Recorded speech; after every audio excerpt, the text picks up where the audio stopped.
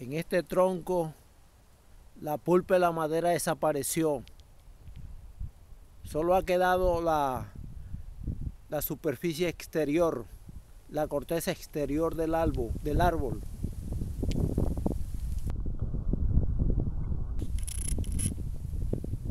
Detrás de la corteza exterior es completamente hueco.